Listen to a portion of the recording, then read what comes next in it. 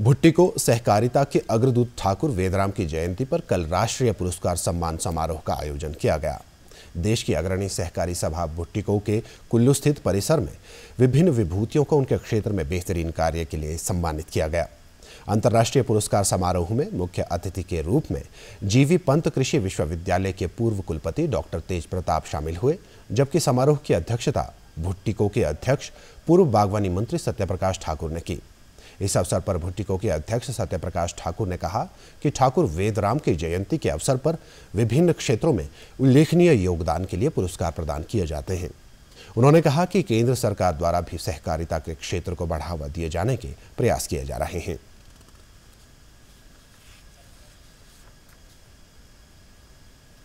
ठाकुर वेदराम जी की एक सौ जयंती है।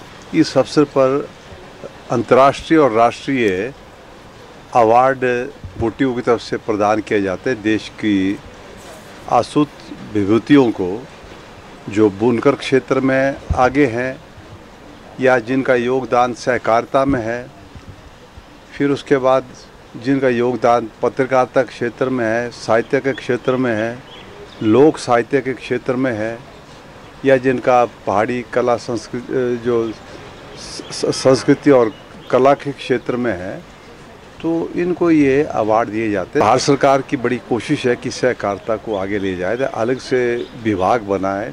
मंत्रालय बड़ा पहली बार।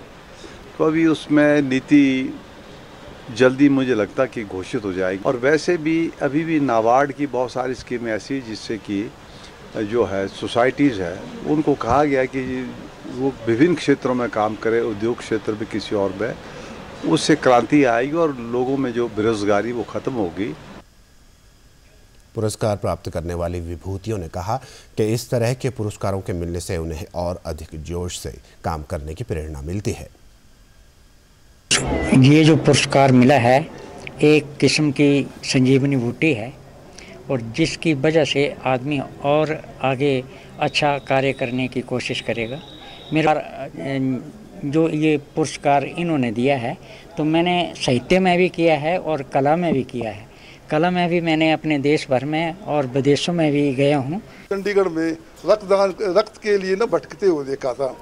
तो मेरे दिल में एक प्रेरणा हुई कि मैं क्यों ना रक्तदान का ये का पूर्ण कार्य है ना, अपनी मदर की याद में शुरू करूँ।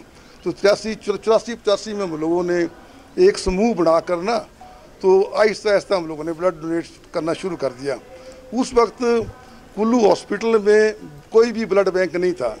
तो डॉक्टर लोग जो थे उस वक्त तो सिर्फ़ एक ही नाम लिखते थे, डॉक्टर किसी को ब्लड की ज़रूरत पड़ती थी। तो मेरा नाम लिखते थे कि आर्ट की दुकान में जाइए आप लोग, और वहाँ जाके आपको ब्लड मिलेगा। 105 रुपये मैं डोनेट कर चुका हूँ, लेकिन मेरी एक सरकार, शासन और प्रशासन से एक विनम्र निवेदन है कि हर साल जब 26 जनवरी 15 अगस्त या हिमाचल डे वाले दिन जब भी ये लोग विभिन्न क्षेत्र में उल्लेखनीय कार्य करने वालों को सम्मानित करते हैं ना। लेकिन ये लोग रक्तदान करने वालों को भूल जाते हैं। हमें बेशक ना करें, लेकिन अन्य को करेंगे तो उससे और भी लोग मती से प्रोत्साहित होंगे।